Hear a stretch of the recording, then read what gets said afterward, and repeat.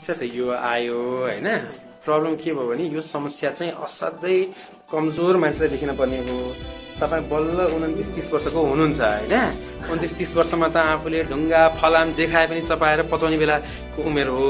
यो चाहिँ जनै खटेर निस्केछ तपाईँलाई हेर्नुहोस् है। असाध्यै दुख्ने बोल्ने भएको छ? असाध्यै दुख्ने बोल्ने। अनि कति दिनदेखि छ यो समस्या? एक हप्ता भयो। पहिले त सानो थियो होइन? पछि फैलि फैलिएर फैलिएर अब मैले के भनिरहेको छु त अघिदेखि भाइले बुझ्नुपर्ने कुरा के छ?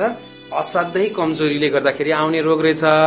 पैँतालिस वर्षभन्दा कमका मान्छेलाई जनखट्रा आयो भने त एचआइभीहरू जस्तो रोग पो लागेको छ कि हेर्नु पनि भन्छन् है? अब मैले अहिले एचआइभी भनेर त शङ्का गरिनँ तर मैले के बुझाउन खोजेको त निकै नै कमजोरीले गर्दा आए। म चाहिँ कार्पेन्टर हो होइन। धुलो सम्बन्धी बढी काम हुन्छ मेरो चाहिँ। अच्छा धुलोको एलर्जी चाहिँ यो होइन कि? यता- विकनेस छैन। यतापट्टि छैन नि होइन? अर्को साइडमा बिल्कुलै छैन। त्यसमा मात्रै छ है? अरू के हुन्छ भन्नुहोस् त?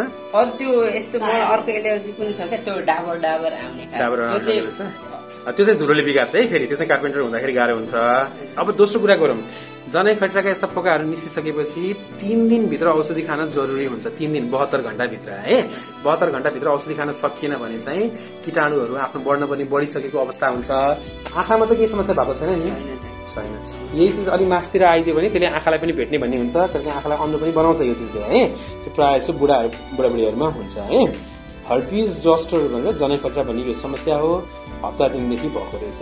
अब यो समस्याको लागि खाने औषधि चाहिँ एसाइक्लोभिर भन्ने एन्टिभाइरस औषधि हुन्छ।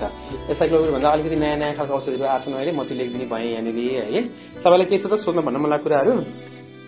यो सम्बन्धी त खासै केही छैन। मैले उहाँ क्लिनिकमा पनि देखाएको सुक्ने दबाई चाहिँ दिनुभएको थियो उहाँले होइन?